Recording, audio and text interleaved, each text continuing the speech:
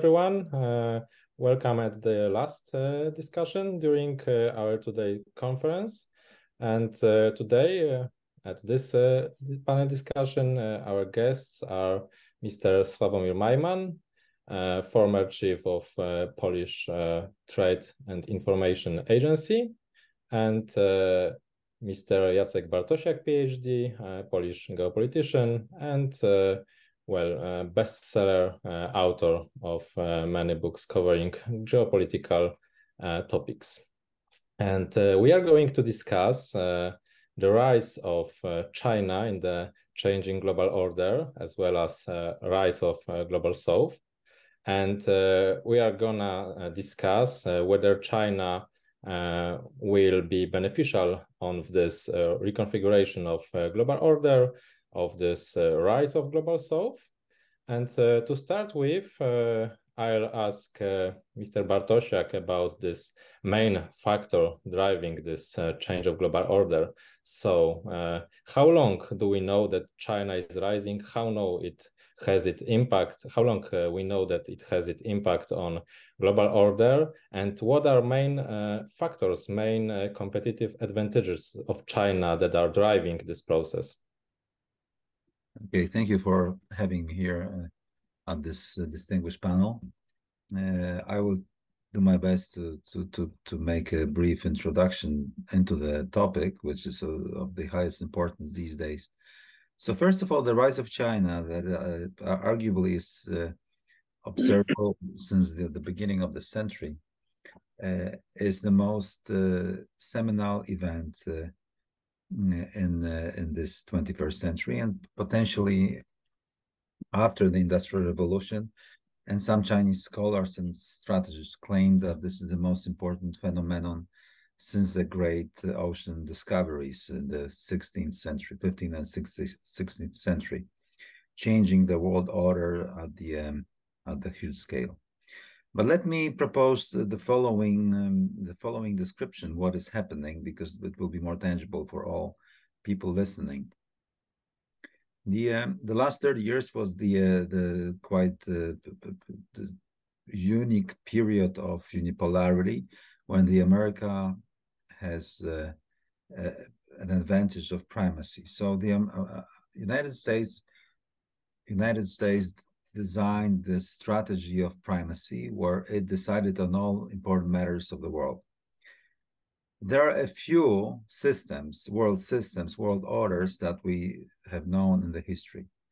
There's an imperial order, like in the Roman Empire, and the empire itself is the order. So there is no interactions in the international system because the empire imposes on everything uh, as it stands and this had not been known for a long time now. The second, the second uh, kind of order is the primacy, and the United States had this had has had this primacy over the last thirty years, and wants to keep it. Judging from the last Biden speech, it wants to keep it.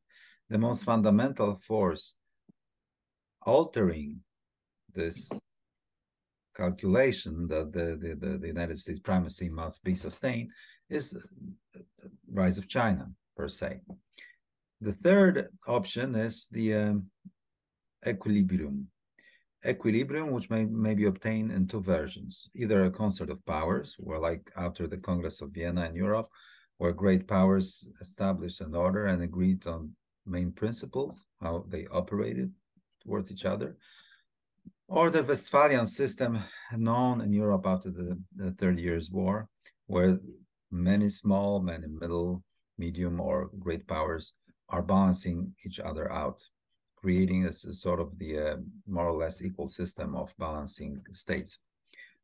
And uh, the problem is that the United States, since it uh, entered the world stage, doesn't know anything else as only the system of primacy and its version, which is that dual system of the uh, us against them, like in the Cold War, United States with the allies around the United States as a security provider, Western allies against the Soviet Union and its uh, satellites. it was also because the United States enjoyed the, the, the supremacy in the world ocean, the military supremacy, nuclear supremacy, throughout the large periods of of uh, cold Cold War, and of course the um, it controlled the strategic flows of the world. It was still a primacy. I'm sorry. Excuse me. So the the problem is that the United States uh, establishment doesn't know how to operate in anything else as only in the system of primacy. And the rise of China is creating a major shockwaves to the system. And now speaking about the global south. Until recently, the whole world system was operating around the European great powers and their offsprings in United States, Canada, Australia, and elsewhere, while the, the rest of the world had to follow the principle for strategic flows that were decided in New York, London, or elsewhere in the West, creating in this way the supply chains, the value chains, and the division of labor in the world. With the rise of China and the, uh, I'll say that the uh, the development of the South, this is changing. So the global South is a new center of gravity of competition. Who will gain the foothold there? And who will convince the global south, broadly speaking, global south, will prevail in this competition? And this competition about the hearts and minds of the global south and their pockets, of course, will be about the fourth industrial revolution, will be about AI, will be about digital economy, will be about the influence, will be about the uh, financial settlements, whether we're going to be in the dollar system or something else. So the global south will be a center of gravity. The middle cl class increasingly will be in the global south. And in this way, the burden of, of the world is moving, is shifting. Just at the at the end of my preliminary opening remarks, a few statistics. I was listening to Mahbubani, foremost uh, Singapore Singapore strategist, who had a speech two months ago in Beijing, where he was giving data as to how large the middle class of the country is called CIA, and it's not a central intelligence agency based in in the United States, but it's China, India, and ASEAN. That is manifold bigger. Middle class is manifold bigger in the in those three areas than the in the entire West. And it's the middle class that buys, it's the middle class that spends, it's the middle class that wants to drive cars, and it's the middle class that wants to have the uh, fourth industrial revolution uh, operating by them. So, what I think is that the um, the the role of the global south is increasingly important it will be a battlefield between the, the United States and some countries of the West that will be gravitating towards the United States. United States at the moment does not understand that trying to create the situation, dual situation between us and them, meaning between China and be, and us, with the U.S. in the, at the center, is not going to work, but it will create tensions, as the competition between China and U.S. is completely different from the one between Soviet Union and the United States in the globalized world. So it will be very difficult for the United States to discipline its allies and uh, client states and partners to follow the um, the breakdown of economic ties, decoupling, or any other ideas that they might have in order to keep the, uh, the, the, the strategy of primacy in place. Let me finish at this moment. Maybe I will elaborate on those a bit later. Thank you. Thank you very much uh, for your great introduction to our discussion. I think it will be much easier for me now to uh, go to some specific uh, points. And uh, now I would like to ask uh, Mr. Majman about this uh, great problem of our times, this winning of minds and hearts of Global South. You yourself visited many of these countries. you visited many African countries, East Asian, also Central Asian countries, and you were there as uh, well Polish uh, economic diplomacy representative. so you spoke to many businessmen there, to their governments. And I would like to ask you about what we, of course, can make uh, such generalization, what uh, this global south uh, thinks about the West. is it true that well, anti-colonial, anti-American, anti-imperialist uh, resentment towards the West is uh, live and is uh, rising in global South countries. What do you think, Mr. Majman? Thank you very much, Chair.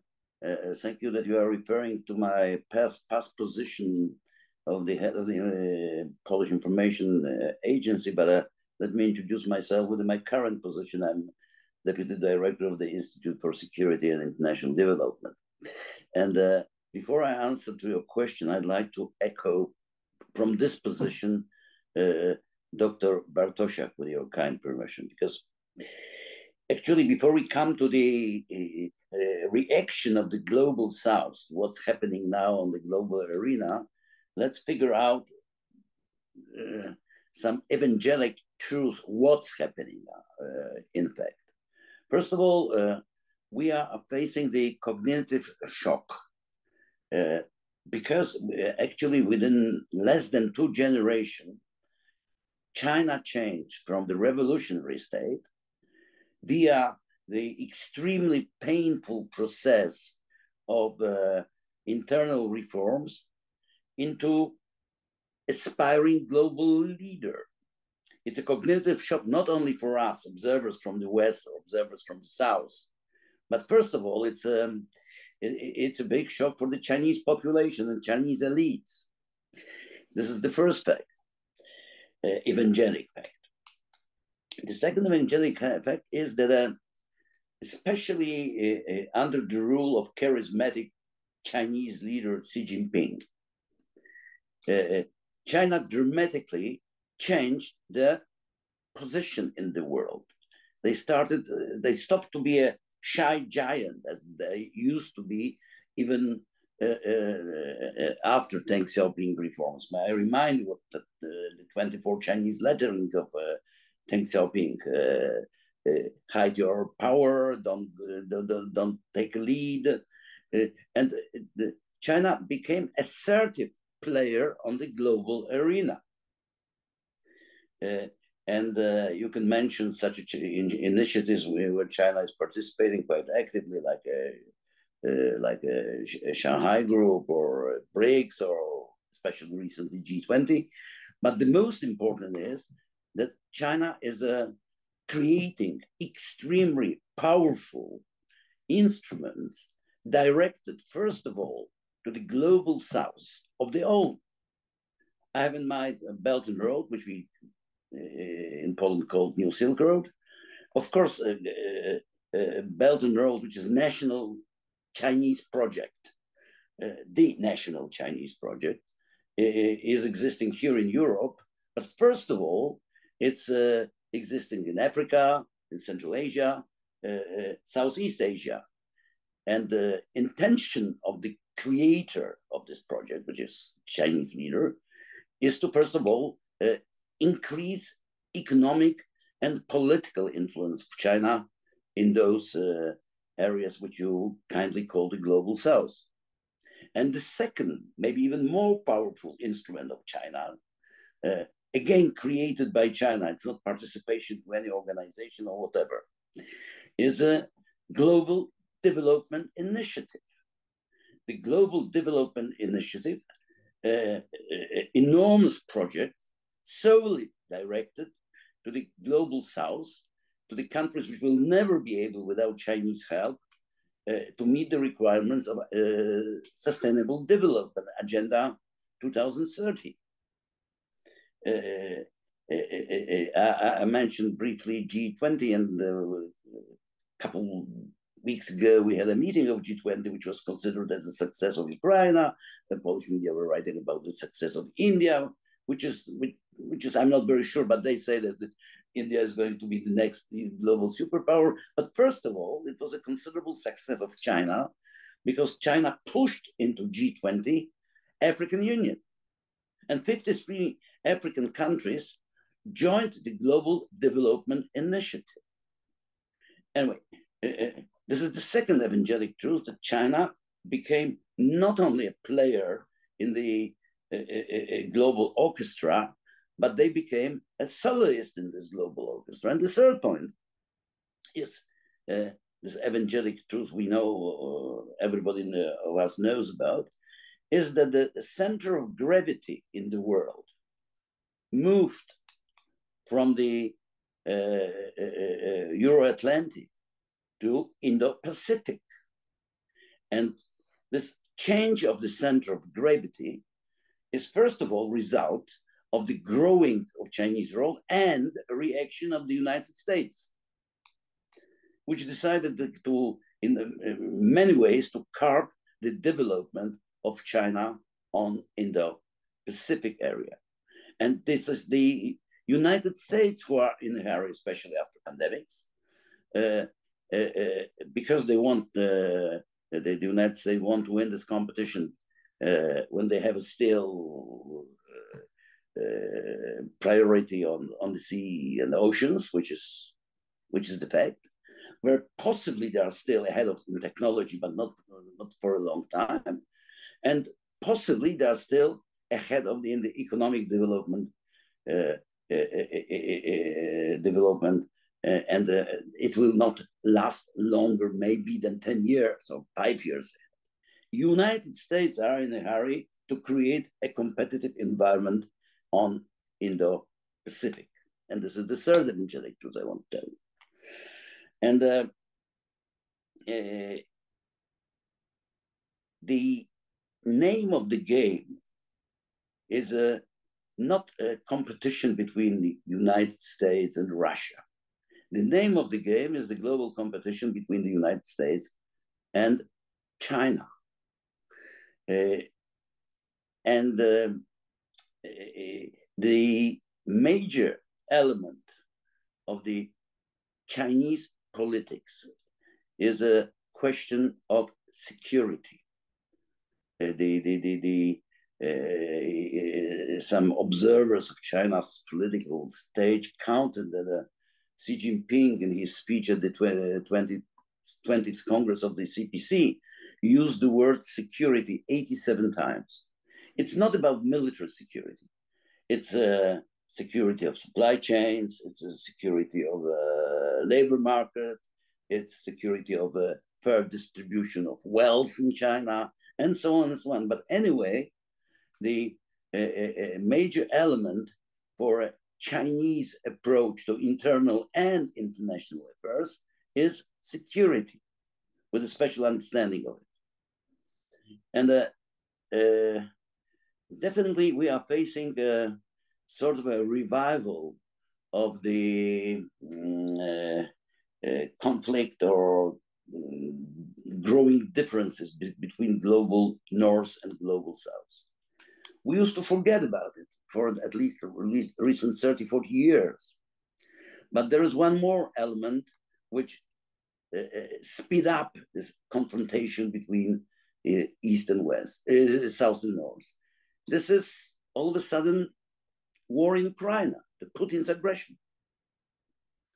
Uh, and very crystal clear, you can see the difference between a, Western approach or Northern approach to it and the approach of the uh, African, Asian, and uh, South American countries. Uh, uh in the best case, we can hear from the people from the uh, from the global south. Uh, simply, it's not our war. In the worst case, we can we can hear, uh, let Americans lose it. And now, you mentioned some possible reasons for um, uh, for uh, this uh, approach of the South. First of all, as far as Russia is concerned, majority of the developing countries, or which we used to call developing countries, are not afraid of Russia. They don't treat Russia as a superpower. Power. Uh, of course, we know plenty of nasty cases of that Russian behavior in Asia or so, but somehow it's forgotten. But what is not forgotten is American, American exceptionalism, which Dr. Bartosiak mentioned. Uh, I mean, deep conviction of America that its design, its destiny is to rule the world. Uh, uh, uh the world likes it or not. Uh, what they still remember is American imperialism. And what they still remember is a heritage of colonialism. And, and we are, when, when, when we see how uh, French flags are burned, from, for instance, by the crowd in, in, in, in Niger, it's because of this uh, uh, memories, this deeply rooted perception that the West is still dangerous. This is about the population. Then, uh, both uh, Belt and Road both, and the Global Development Initiative and all those uh, bold uh, Chinese infrastructure projects in uh, Africa or some countries of Asia are welcomed by the strong men who are ruling on, in these countries. Because the difference between Americans or Western Europeans and Chinese is that Chinese are not asking uh, questions about human rights and democracy. They're giving money and they're building. Uh, Americans are not building infrastructure and they're not deli- delivering infrastructure to those countries which are having so dramatic uh, problems with sustainable development. And uh, this is the, I would say, the one more advantage of Chinese uh, presence in the in the in the global south. And and the last point in this uh, intervention, if you permit me, uh, I think Francis Fukuyama was right when he called Xi Jinping. Uh, that, that, Xi Jinping is rather resembling Ming Dynasty and not Mao Zedong because uh, uh, uh, the current policy of Chinese leadership is somehow coming back to the tradition of China, which for a few thousand years was a, was a global superpower. And only in this short period of humiliation, as they call it, 150 years after Opium War until, uh, until end of uh, and Mao era, they were not uh, a, a, superpower. That's why what I want to say that it's not communists, Chinese communists who created uh, Chinese uh, fight for the global leadership. They're, they're not communists. They're simply the simply continuation, return of China to the place they desire and, and, and they, they, they, should have due to the historical tradition. Uh, a couple of years ago, two years ago, we had a, 100th anniversary of the Communist Party of China, and one of my Chinese friends looked at me and said, "No, no, no, no, no, Mr. Majman, it's not, it's not the 100 years of the Communist Party of China. It's 100 years plus 5,000 years of the Communist Party of China." Thank you. Thank you very much. Uh, it was quite rare, I think, and thus refreshing that you mentioned that Francis Fukuyama was right in something, because usually it's said that he was wrong in this one, well, title of his book, and maybe many of these people who are saying this um, didn't read this book. Anyway, uh, I think that you both uh, make a great description of two uh, spheres, two factors of uh, this competition, this uh, economic development. Mm, uh, factor and uh, as well this cognitive this winning uh, of mind and hearts and i would like to ask now mr bartosiak about um, this military um, competition how it looks uh, like uh, now because uh, as it was mentioned before we are, are facing now two important in context of our discussion wars in ukraine and while starting of uh, war in new war in Middle East uh, in Israel, and uh, well, from the one uh, point of view, we can say that Russia mm, lost a lot of uh, its uh, military potential, a lot of people, a lot of tanks and other military military platforms, and on the other hand, we can say that uh, China is uh, building uh, its navy, it's building its nuclear potential. Uh, so how it looks like in this uh, global view, how this uh, military balance looks like, and is this projection of military force important factor of competition in this global change, changing of global order? In order to answer this question, I need to contextualize a bit what the military power means. First of all, the United States is the most formidable military power on planet Earth. It has a planetary range power projection capabilities. It is present uh, Eurasia and around it uh, elsewhere. It has a global reach, strategic lift, and a global precision strike. So on paper, it seems that the America fields the most, most formidable military. The problem is that there are two important factors that always need to be put into the context. First is the tyranny of geography. So how you project your power in order to have your way. So it is very difficult to project power of the United States across the, the, the wide Pacific Ocean to the Western Pacific, close to the, the Chinese mainland and the Chinese backyard. You need to sustain logistics. You need to keep operational tempo. You need to have ships. You need to have bases. You need to have ammo, fuel, rockets, missiles, everything, and personnel in place. You need to have the uh, friendly friendly areas, allies uh, with their emotions, national interests, and so on and so forth. So it's a very complicated game. It's good. To, it's good enough to say it. In a nutshell, it is much more difficult for the United States to project power to the Western Pacific close to the Chinese mainland, as for the Chinese to have the capability to face the American influence out, to to to to chase away the American navy from the from the waters around uh, in the South China Sea or East China Sea or the Taiwanese Strait.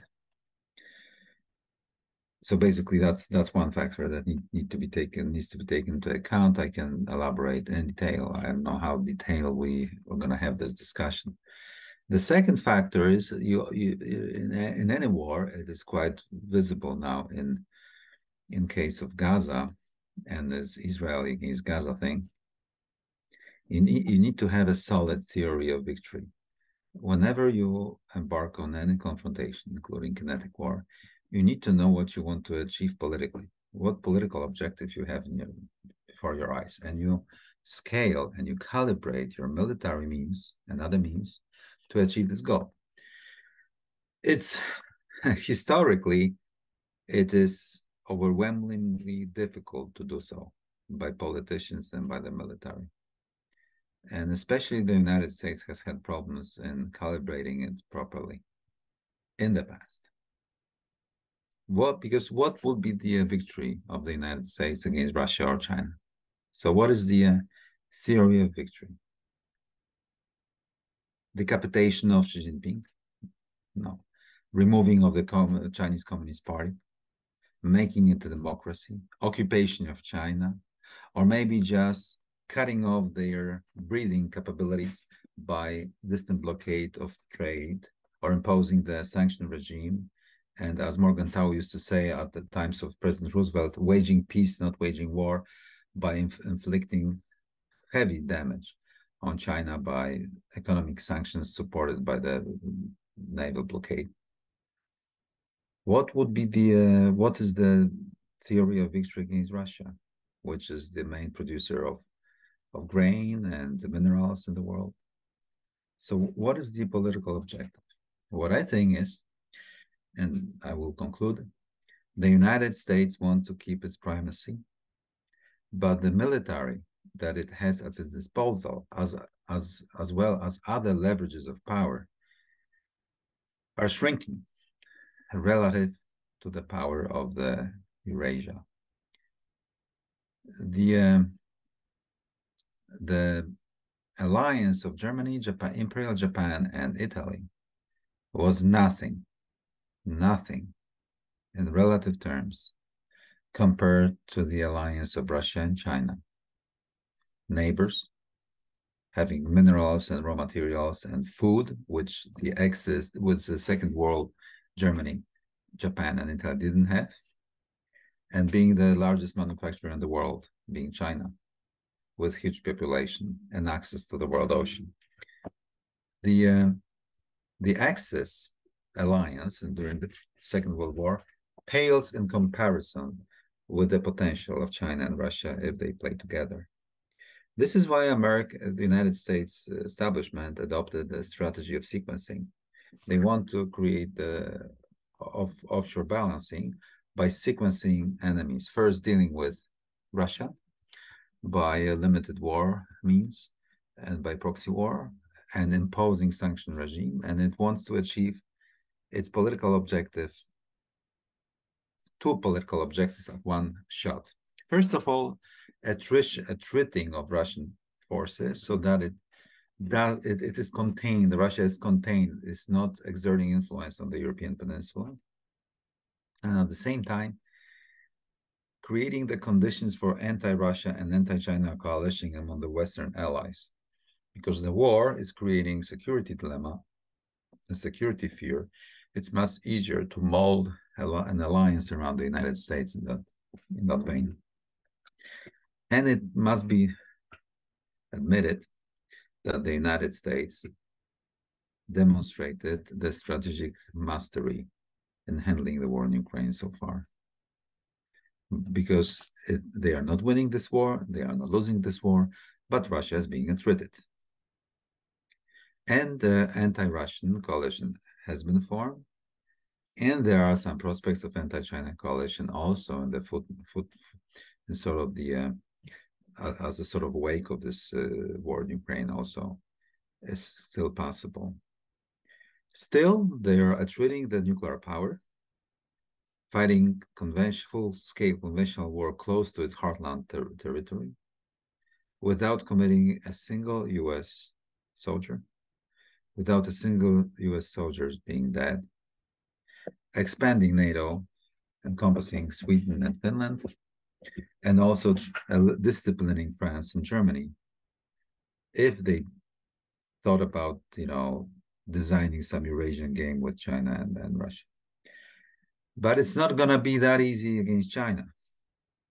But I fear the temptation of the success of a limited war in what I already call a scalable world war that was unleashed three years ago and in a sequence of clashes, in a sequence of confrontation, in a sanction regime, in a technology war, in cyber war that is already upon us, the United States is, is trying to is trying to do this offshore balancing by the means of creating the environment where China will stop rising and the anti-Chinese coalition will arise. And here again, the global south is a pivot. what they will do might decide the future of this relationship and the future of the world. The problem is that the Cardinal Richelieu used to say that whatever you do in foreign policy, your means must equal your ends. And uh, increasingly, I believe that the strategy of primacy is not backed up properly by sufficient means and resources. That's a major problem for Poland, which is the close to the uh, to the confrontation zone. That's increasingly a big problem for Taiwan, which uh, shares the same position, and from the entire world, because there must be a sort of an equilibrium, and this equilibrium is broken now. So what I increasingly feel and fear is that we are approaching the situation that misperception and miscalculation over intentions and capabilities between the United States and China may spiral down to some incident in the South China Sea or the Strait of Taiwan, where it will be convenient for any of those parties to escalate it a little bit just to delegitimize or remove the credibility of the other party and we will have this called Sarajevo moment. from which it will be very difficult to to you know scale back the confrontation. Also fueled by this feeling that yeah well we got we can make it against the nuclear power because we did it in ukraine. The limited war is doable as Elbridge Colby tends to say in his book strategy of denial. And he was the author of the uh, of the military strategy of the pentagon during the the trump's era uh, well we're doing fine. We can manage. Sanction regime, wedging peace, as Morgenthau used to say, and limited war by proxy, plus technology war, may derail China. Yeah. So this is what I feel, what, what I increasingly fear, and I think that this inflection point is coming faster than I expected a few years ago. Let me stop here. Thank you very much. And uh, Mr. Majman, I would like to ask you whether uh, you agree with uh, what Mr. Bartosiak said about how USA is navigating uh, this uh, time of change. Uh, is USA, in fact, well, making it very good from the point of view of its own interest, this winning in um, this small war in Ukraine and well, managing to reaffirm its own forces to enlarge NATO and so on. Well, do you agree that uh, USA is uh, on the good uh, good uh, way from the point of view of its own interest? You know, um, I can reconfirm that China is in a very difficult strategic situation because of the war in Ukraine. Uh, I, like various um, poetic expressions of Xi Jinping uh, um, to describe the challenges of China. Uh, Xi Jinping said that, uh, that China is facing high winds, choppy waters, and dangerous storms. It sounds a little bit like a, a John Donne or other mystical English poets. But it's very true. High winds, choppy waters, and uh, dangerous storms. Uh, a lot of observers, uh, including Polish observers, uh, uh, tend to write that China is benefiting from this Putin's aggression.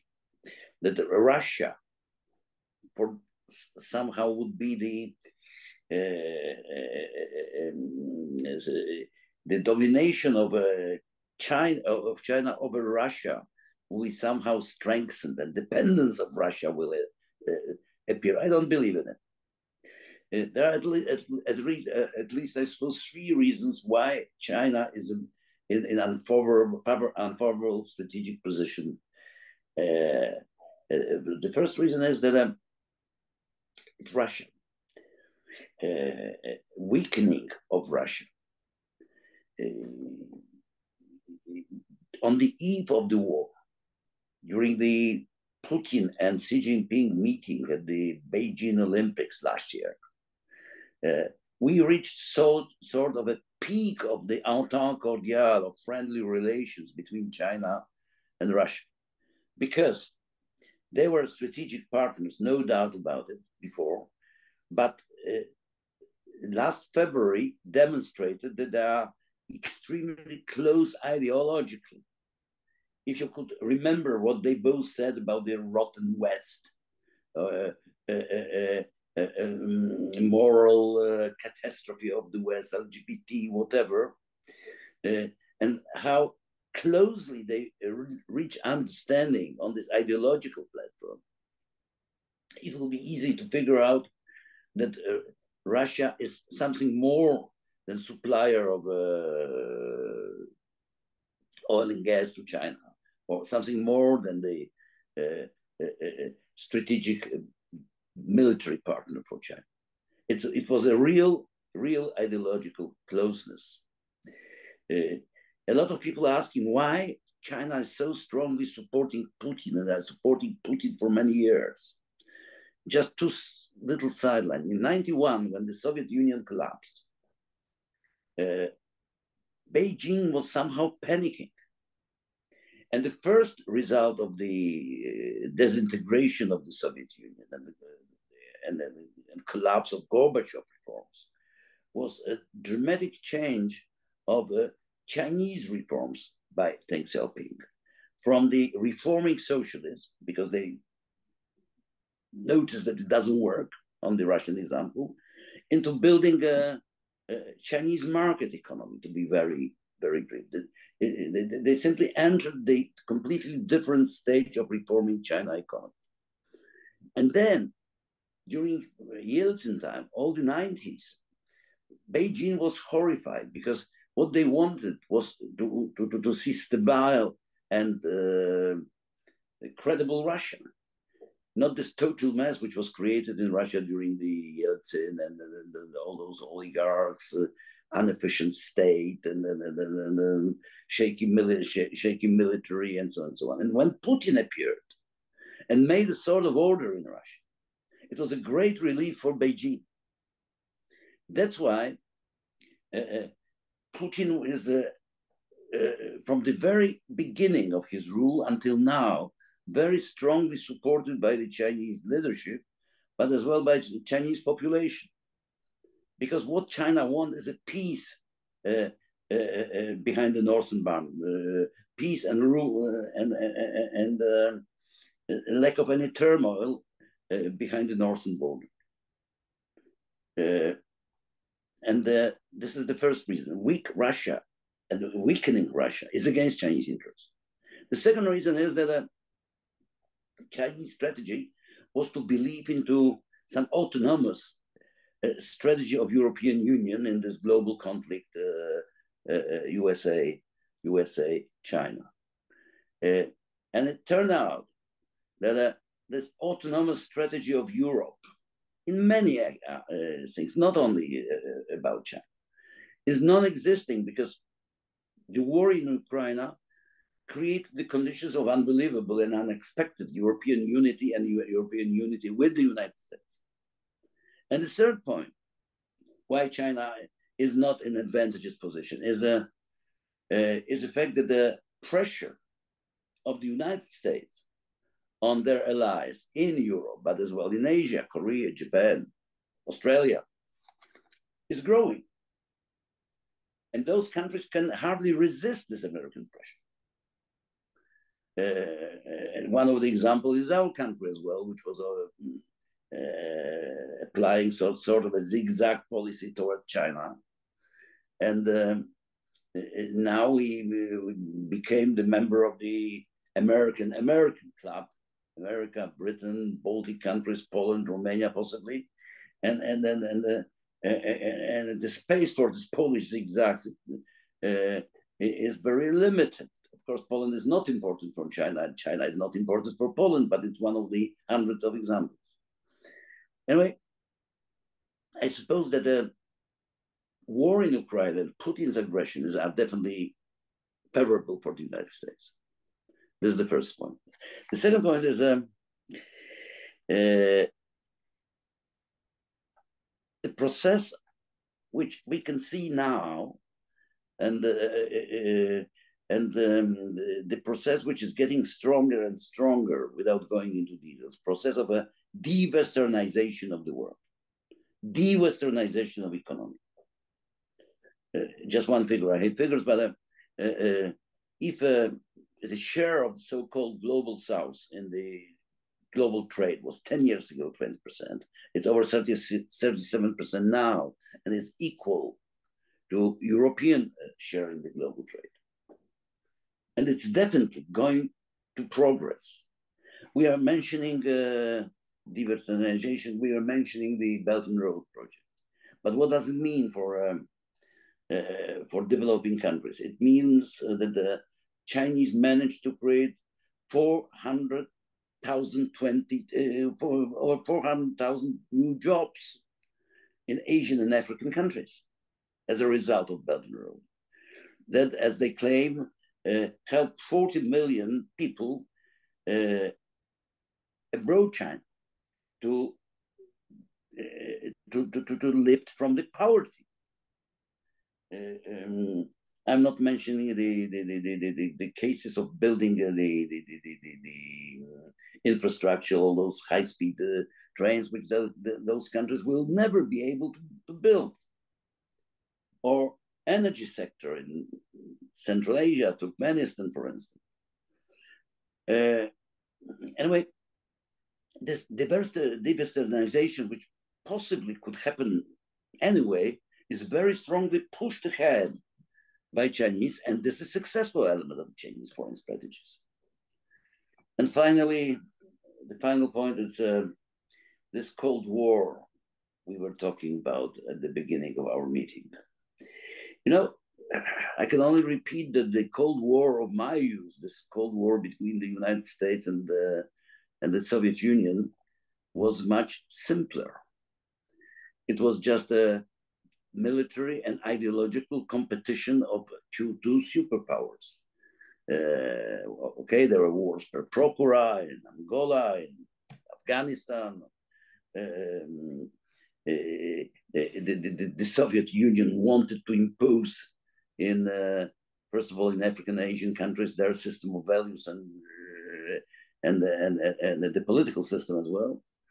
Uh, Americans, of course, they were, as usually, um, tried to, to, to push the American system of values to developing countries they wanted or not. Uh, but it was relatively simple. The current Cold War, this Cold War between Americans and, uh, and Chinese, is highly sophisticated because we have several levels of this war at least. There is a war of corporations, there is a, uh, okay, a military competition, there's economic competition. First of all, there is technological competition. But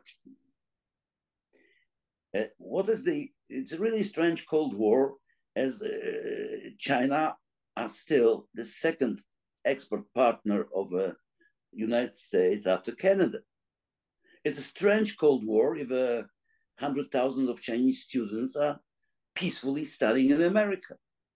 It's a strange Cold War because we uh, uh, uh, we say okay, the Pax Americana and the and unipolar world which started in '91.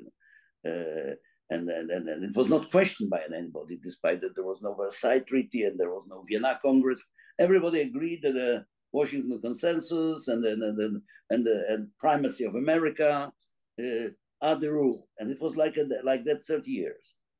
But okay, uh, but uh, where have we moved? Is it the bipolar world, as some Americans say? Or is it the multipolar world, which is the official ideology of Communist Party of China?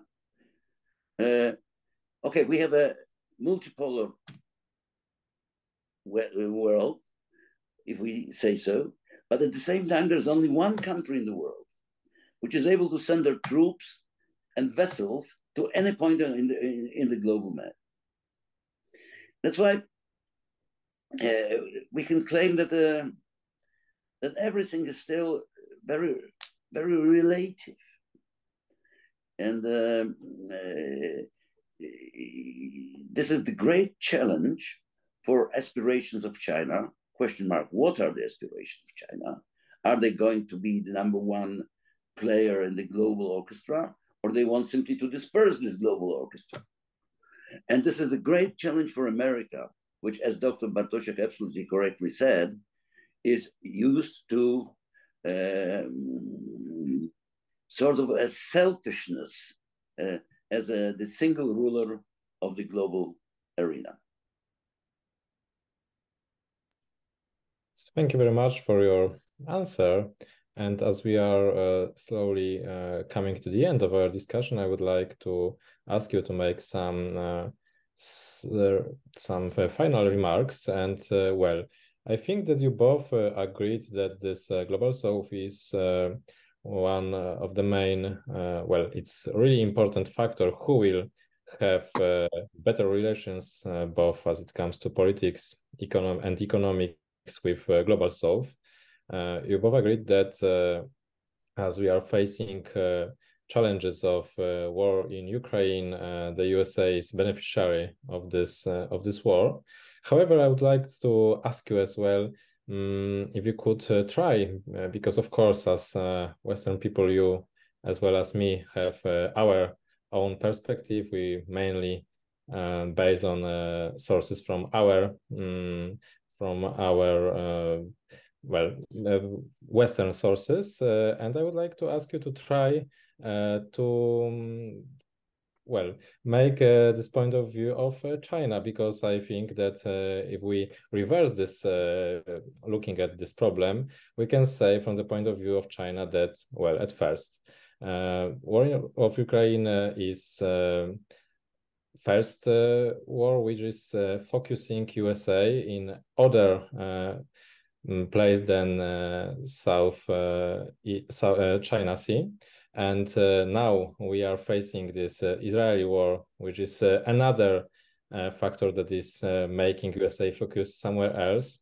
Uh, and as well, it is deepening this difference between West and global South, as we can see um, as now, for example, Muslim world is, well, seeing that Western world is supporting Israeli and not their brothers and sisters. Um, and uh, I think that uh, from the point of view of China, it can be said that it is uh, something um, that uh, makes uh, this window of opportunity for for China as well. So, well, uh, could you try to to make this another point of view, Mr. Bartosiak?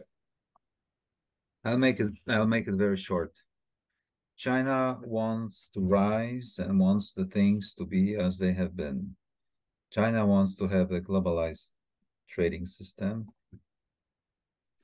as it is, you know, the most productive country and it uh, benefits from the openness of the system. The longer it goes, the stronger it gets, as opposed to the United States. China wants to operate freely, wants to have access to the markets, wants to have freedom of strategy flows. By paradox, America is trying to limit the openness of the system and exploit the uh, advantages that it thinks it still has in certain domains. So I think China wants to avoid war, what wants to avoid confrontation, but it doesn't mean that it has good intentions it of course wants to grow. So it's not about anybody's fault. It is the rise of China that is creating this confrontation. Not the Chinese, but the rise of China and the change that it triggers, that it un, un, unfolds, unleashes. In terms of the uh, Chinese strategy towards the United States, I think that the China doesn't want to look as an ally of Russia. China doesn't want to side with Russia openly. China simply wants the system to operate, and China wants to wants other countries to gravitate towards the Chinese economy, including the American allies. So China shouldn't do anything that would put China in the light as being an aggressive country, revisionist country that wants to change the status quo it should avoid everything possible to do it. To undertake any actions that may create the uh, pro American coalition among the fearful neighbors or among the fearful Europeans. As regards the um, as regards the you know the strategy towards the United States, I think that the, the, the Chinese should also avoid creating the possibility for the United States to to exert the brinkmanship.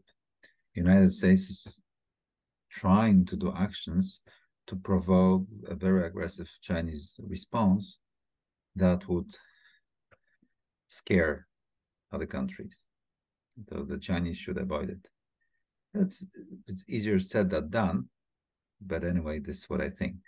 And the last sentence is uh, it's it's in the Chinese interest to thin out the United States. The more contingencies the America Americans have, like Middle East now, then Ukraine, then this and that, the more dispersed, distorted and overstretched the Americans will be, the less credible credible they will look. Even in Poland, because the United States sent aircraft carriers and then ships to the Mediterranean, we fear that we may be, you know, Ukraine may be abandoned or Poland may, may not be helped. So credibility is a one balancing game, and uh, I think the Chinese, under the you know lines, will be testing this credibility by doing it by proxy in some remote theaters like in the Middle East, without uh, resorting to direct confrontation or anything like that. Thank you. Thank you very much. And Mr. Majman, what are your final remarks? So, uh, okay, let's be very brief. Point number one uh, Chinese revisionism will continue. There is no doubt about it. Uh, because Chinese revisionism is deeply rooted in the imaginary and the history of the country and of the nation. Uh, Friedrich Hegel has written many years ago that um, civilization in the past. In case of China, civilization is uh, past, present, and the future. The second point is that um, uh, I suppose that the Chinese ha are having a project which is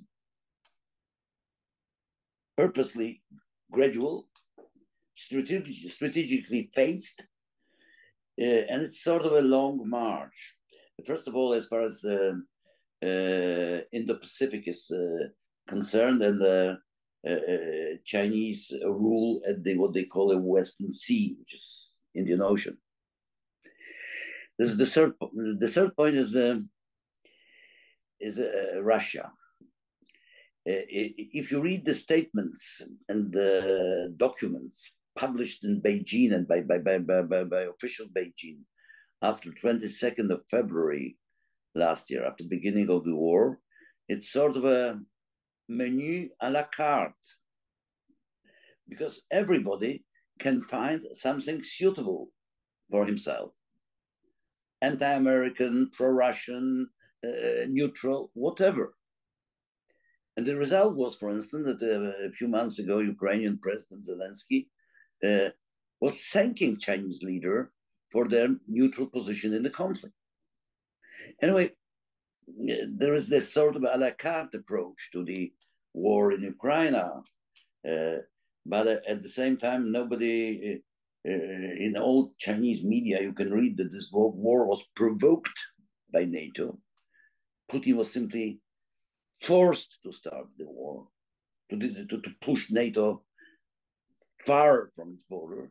And secondly, that the Chinese are wholeheartedly supporting Russians but due to the geopolitical situation, will not uh, uh, cross the red line when the mm, uh, moral support finishes and the physical help starts. And the fourth point, if you look at the recent history of the Chinese People Republic, you will notice that China was developing only in the periods of international stability. Uh, and for the Chinese leadership, which is now facing extremely complicated internal task, developing of the west of the country. Yeah, the new economic strategy announced two years ago. Uh, in addition, the the the the the, the, the expansion. Uh, stability is the major element of the success of, of a CPC and Xi Jinping program. Uh, of course, uh, it doesn't depend upon China 100%. It doesn't depend upon America 100%. Because, may I remind you, when the Cuban crisis started, the most dangerous after Second World War challenge to the world peace. That time, President of the United States, uh, John Ken- John Fitzgerald Kennedy, and the White uh, White House staffers were reading the book by uh, American writer Barbara Tuchman, uh, uh, Guns of August. And it was a book, it was a story how nobody wanted the, sec- the First World War to start, but anyway, it has started.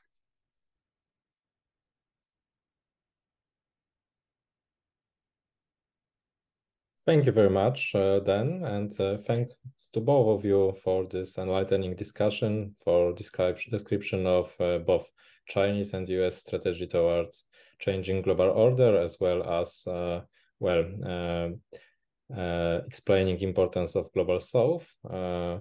and, well, thank you very much.